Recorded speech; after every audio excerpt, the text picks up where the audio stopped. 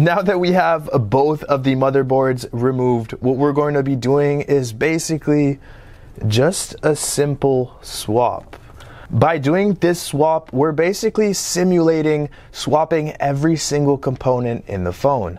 Because Apple continues to serialize components, we'll be able to quickly find out what Apple did to make the device unrepairable this time if they did anything at all. And there we go. We have the red motherboard with the blue phone internals, and we have the blue motherboard with the red phone internals.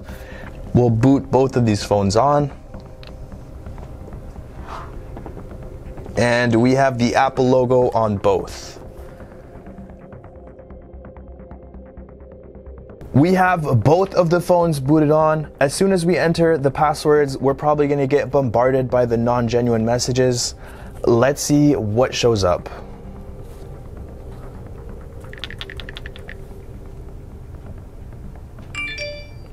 Important camera message. Nice.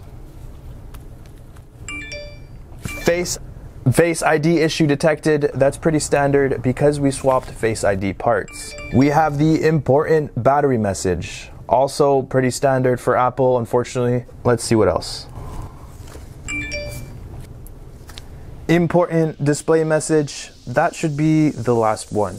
After extensive testing, I did find some stuff. First off, I'd like to say that these phones are running iOS 17 and all of my findings are based on both phones running iOS 17. There may be some things that I have missed in this test, to which I will keep you guys updated. Anyway, now that we got all of that out of the way, here's what I found. So all anti-repair measures Apple has taken prior are still there, including all the non-genuine messages like the Face ID, the battery, the display, etc. The True Tone is still disabled. You'd have to reprogram it to get it onto a new display. Auto brightness also doesn't work. The flash issue we recently found with the iPhone 14 doesn't seem to be an issue on the iPhone 15 Pro Max.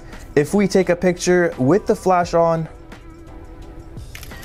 it saves to the camera roll as usual and there are no issues. I can say that I haven't seen any issues in swapping the back glass at all. The flash and wireless charger all seem to function as they should. Face ID only works with the original front camera as usual, but swapping other components doesn't seem to affect it. The 5 times zoom also still seems to work. We can still set the action button to do whatever we want with no issues even though it's not the original action button. I also haven't found any issues with portrait mode or any other camera mode. The only issue I found was with the front camera. And well, this is kind of serious. Swapping front cameras seem to glitch out the entire camera app. Just check this out.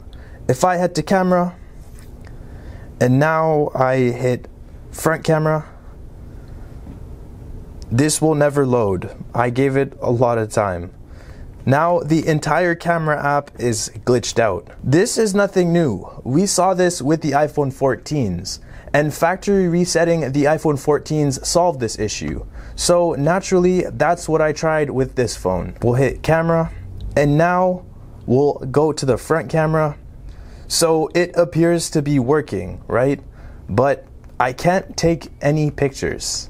This is a phone I factory reset and that worked with the 14, but it doesn't seem to be working with the 15 Pro Max. So what does this mean? Well, I'm not entirely sure yet. I have to share my findings with other repair shops before I come to a solid conclusion. What I can say though is that if this is done purposefully on Apple's part, then it's bad, like very bad. Hopefully, this is a glitch that Apple fixes in an upcoming update, but with Apple's track record, I have a hard time believing any bad thing that happens as a result of swapping parts is a glitch. Anyway guys, those are my findings. If I find anything else, I'll be sure to keep you guys updated. Hit that bell button so you don't miss the next video, and uh, I'll see you guys in the next one. Peace.